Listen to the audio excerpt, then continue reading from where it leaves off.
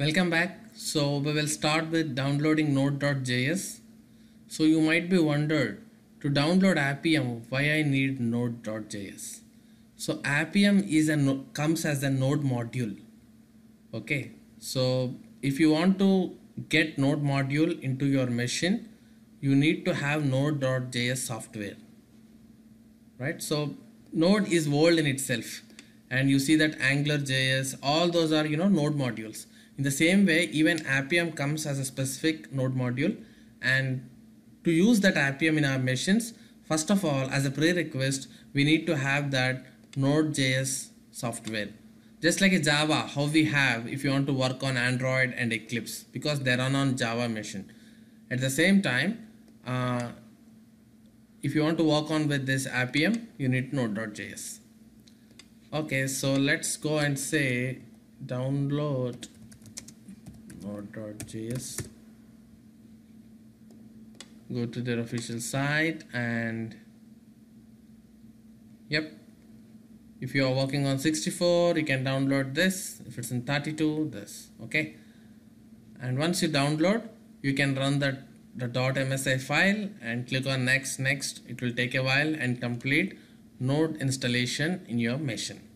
So once installation is completed you can find that node.js module in your program files. Let me show you. It's just like where you see java and android studio. See program files and once you click on finish button with that node.js installation uh, yeah here you go node.js okay. So yes we have successfully downloaded node.js and now we need to set environment variables path. Just like how we have done for java. Copy this path go back to again system settings environment variables create a system new system variable saying node underscore home and give that path. You see that I already have in my machine. Right?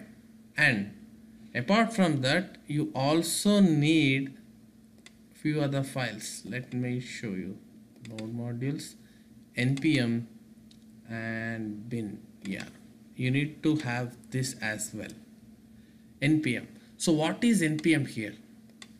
You need to know the difference between node and npm so node is a software. In that node you have a command line installer called npm so with this npm you can download any node module. Now appium is one node module. Angular.js is one node module. Protractor that is for you know uh, just like selenium but for angular.js web application. And that is one node module. So there are different node modules available over the net which are widely used across the globe. Okay? So if you want to download all those node module you can download via npm only i'll tell you how to download appium with this npm okay? So in node modules go to npm go to bin folder copy this path and place it in your path folder. So just follow my lectures. You will understand when i start downloading appium okay the real usage of this npm okay? For now just accept it. Uh, go to path folder and create a new and add that npm slash bin this is must. You need to add this. I already have in my machine. Okay so let me uh, click on ok. Uh, click on ok. Right. Now go back to your word document. You see that? We have successfully set node home by going till this path and we have also set npm environment variables path by just going to the bin right? All set. Now go and download the appium so as i said in the when i when i'm explaining architecture appium comes as a two packages. One is client appium client and another is appium server. Okay. So appium client in the sense you can write your appium code in multiple languages so if you watch my initial lectures when i'm talking about capabilities of appium you can write it in java JavaScript, Python, C Sharp, Ruby. Okay, so it's up to you. You can code in any language that specific using that Appium API. So that jars which support your language is called Appium client. Now for example, whole this tutorial runs on Appium Java client. Okay, you use Java Appium to talk to your mobile test cases. So that is client jars. So if you work on C sharp, you need to say Appium C sharp client jars. So it's up to you in what language you write your test cases, you need to have that specific client jars. So we need Appium client jars, Appium Java client jars. And that is a client side. At server side, you need you need to have an Appium server which is common across any client. Okay Appium server is a unique and one thing which actually listen to your client code. So when you write your java code here and hit and run and ask you to execute that this client will communicate with your Appium server and then execute test cases in your mobile that's how internal architecture works you need to send the code from your client side and from your editor tools maybe then Eclipse and then code goes to the server and server interprets your code and then triggers the execution in mobile devices. So that's the reason Appium comes into two different components Appium server, Appium client. So when you run your test with Appium Java code, so it should send to server, right? So so server to listen to your client, it, it should start we should download that Appium server in our machine and we need to start that Appium server. Then only whenever you execute something code, server is ready to listen. If you download and if you don't start your server when you are working for your Appium test, there's you know there's no execution because server is not is not listening to your tests. So Appium server invocation is the mandatory and the first before you want to run the test. Okay? So theoretically it looks some difficult but when you start working practical it's very easy. You can simply start the server with one click. Okay? And then run your tests. That's all. So why i'm explaining this concept means now we need to download server separately and client separately in our machine. Okay? Maybe I, I used to get a lot of mails from my students asking so I already downloaded Appium. Why again we are downloading again okay that's why you know in my next lectures this is the remake of the previous lectures. Okay so I want to now clearly differentiate between client and server here. We need to have it separately. So my earlier lectures are on Appium 1.1 one year back. Now they are updated. So even I updated my lectures with all the latest installation. So there is no Android Studio when I start teaching Appium. It just comes as SDK folder and now they have provided us neat UI to you know create virtual device. Earlier you know there used to be a lot of commands from command line. It's a big work. Now they made it very easy. Okay hopefully they'll make more and more easy in the future. Right. Now let's go and download Appium server first. So this Appium server comes as a node module. Okay this is a node module so node modules can be downloaded via npm only. So let's go back to our command prompt. And let me create one more. So how to download appium in your machine? So you can down first of all note down this point. So just to avoid confusion for you you can download any node module only using npm. npm is a command line tool. You can google it. What is npm? It's a command line installer which helps to install all your node modules so appium is node module. Let me download it. With the command npm install hyphen g appium yeah.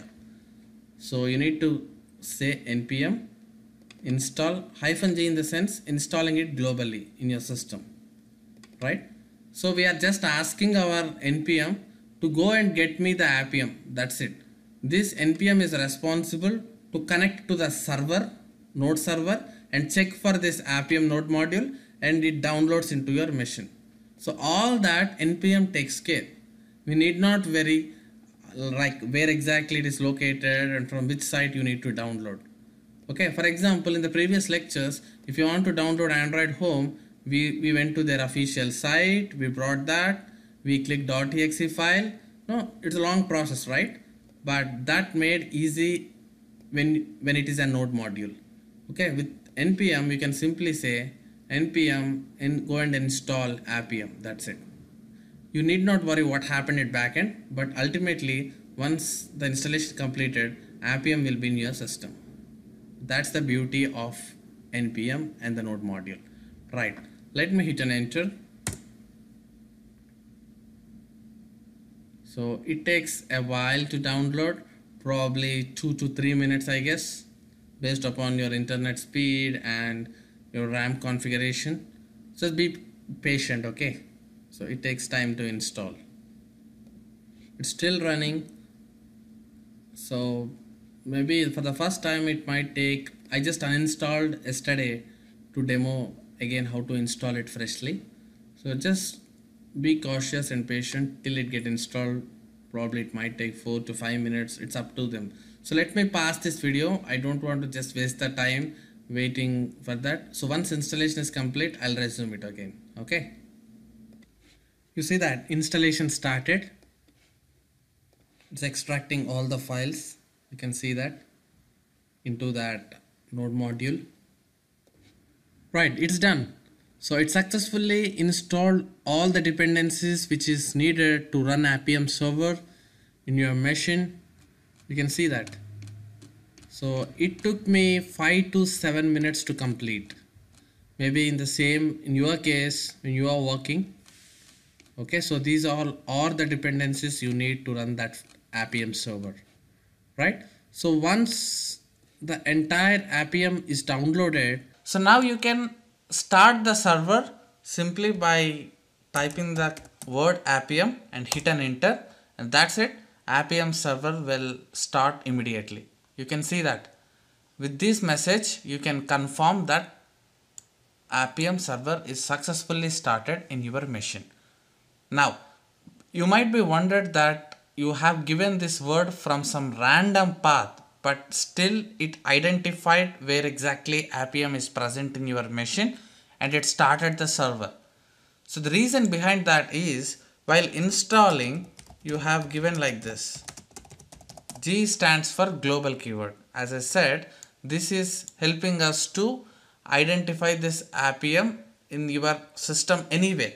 Wherever you install when you make it with hyphen G global that is applicable to every path of your system. So that's the reason you can simply provide this appium word and that's it. You can start the server.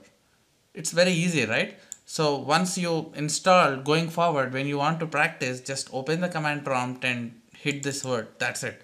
Wherever it is installed, it will go there and it will start your server. You can simply confirm by reading this message called welcome to Appium. And if you want to stop the server click on control C and then you will get like this terminate batch job select Y and hit an enter so that your server is now stopped. You can restart again by just typing this word called appium and your server will start again. Okay? So this is how you can install appium and start the appium server so in the next lecture let's go and see what are Java client libraries for this Appium and install them. Okay, thank you.